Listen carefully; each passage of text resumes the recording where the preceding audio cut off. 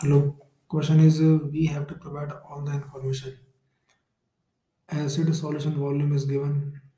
This what is the weight of the acetic acid?